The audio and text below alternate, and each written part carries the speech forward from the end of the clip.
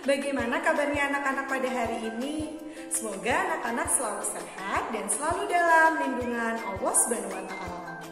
Baik anak-anak, sebelum kita mulai pembelajaran pada hari ini, marilah kita bersama-sama mengucap basmalah. Sikap berdoa hab Bismillahirrahmanirrahim. Baik anak-anak, hari ini kita akan mereview tematik tema 6, panas dan perpindahannya. Namun sebelum kita mulai untuk mereview pembelajaran pada hari ini, Bunda Rista ingin mengajak anak-anak untuk bernyanyi agar kita lebih semangat lagi anak-anak. Satu, dua, tiga. Ayo belajar tematik bersama Bunda Desta. Ayo kita semangat agar kita pintar. Sekali lagi, ayo belajar tematik bersama Bunda Desta. Ayo kita semangat agar kita pintar. Wah, kelihatannya anak-anak Bunda sudah semangat nih ya untuk memulai pembelajaran pada hari ini. Baik anak-anak, anak-anak jangan lupa untuk menyiapkan buku tematik tema 6 panas dan perpindahannya. Lalu jangan lupa juga untuk menyiapkan alat tulis dan buku tulisnya ya. Dan siapkan konsentrasi anak-anak untuk menyimak video berikut ini. Baik anak-anak hebat, kita langsung masuk ke materi hari ini ya. Hari ini kita akan mereview tematik tema 6, panas dan perpindahannya. Apa saja yang akan kita pelajari? Yang pertama, hak, kewajiban, dan tanggung jawab sebagai siswa, warga negara, dan warga masyarakat. Yang kedua, akibat tidak menjalankan tanggung jawab. Yang ketiga, tangga nada pentatonik dan diatonik. Yang keempat, pola lantai dalam tarik kreasi daerah. Dan yang terakhir adalah gambar cerita. Oke anak-anak, kita langsung masuk saja ke materi kita yang pertama yaitu tentang hak, kewajiban, dan tanggung jawab sebagai siswa, warga negara, dan warga masyarakat. Nah, di pekan sebelumnya anak-anak sudah belajar ya. Di sini Bunda ingin mereview kembali dan memberi contoh tentang hak, kewajiban dan tanggung jawab sebagai siswa. Anak-anak bisa perhatikan slide-nya. Hak siswa adalah berhak mengikuti pelajaran dan mendapatkan pengajaran selama tidak melakukan kesalahan. Kewajiban siswa adalah mengikuti seluruh kegiatan sekolah sesuai dengan ketentuan yang berlaku. Sedangkan tanggung jawab siswa adalah disiplin dalam melaksanakan tugas dan kewajiban di sekolah. Oke anak-anak hebat kita lanjut ya. Nah berikut ini adalah contoh dari hak, kewajiban, dan tanggung jawab sebagai warga negara. Anak-anak bisa perhatikan di slide.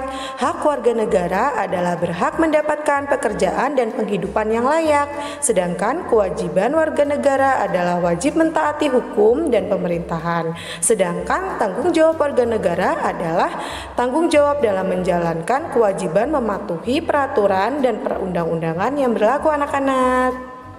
Oke, kita lanjut ya. Selanjutnya adalah contoh hak, kewajiban, dan tanggung jawab warga masyarakat. Nah, ini adalah contoh-contohnya anak-anak. Hak warga masyarakat adalah hak untuk berpendapat di depan orang banyak, sedangkan kewajiban warga masyarakat adalah salah satunya menghormati pendapat orang lain. Sedangkan tanggung jawab warga masyarakat salah satunya adalah disiplin dalam melaksanakan tugas dan kewajiban masing-masing. Bagaimana anak-anak sudah paham kan?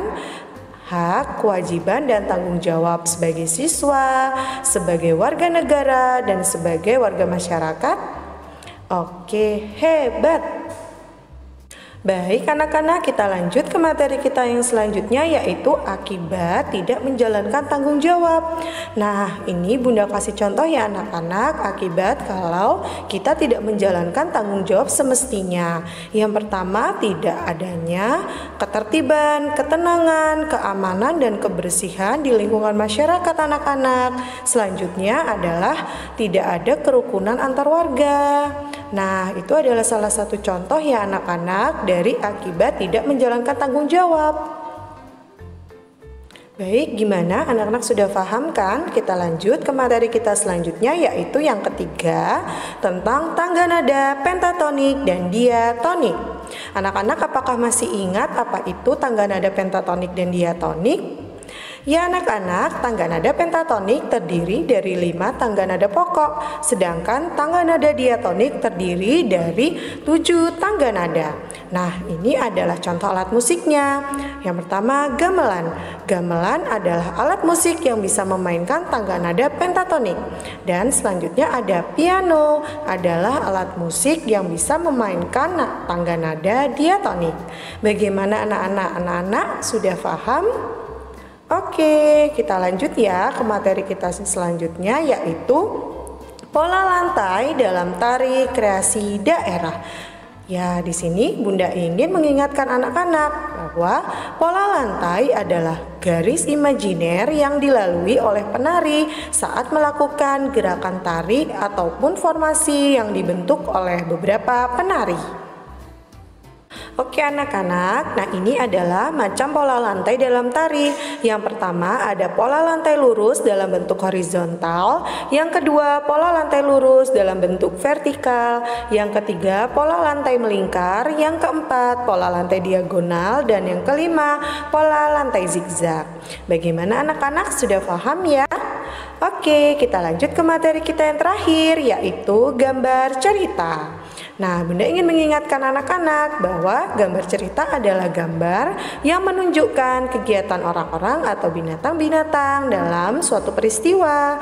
Nah, Bunda yakin anak-anak semua pasti pernah melihat gambar cerita kan?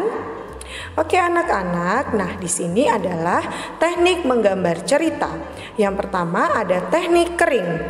Alat dan bahan yang digunakan pensil, kapur, krayon atau bahan lain yang tidak memerlukan air.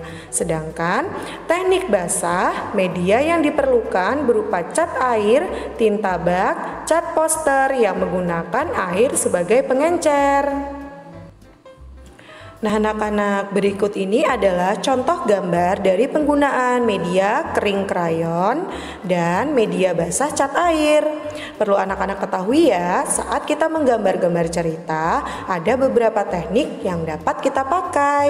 Salah satunya adalah teknik arsir dan teknik blok. Teknik arsir dan teknik blok biasanya digunakan pada media kering, sedangkan teknik sapuan biasanya digunakan pada media basah. Nah, dari ketiga teknik ini, teknik mana yang pernah anak-anak gunakan?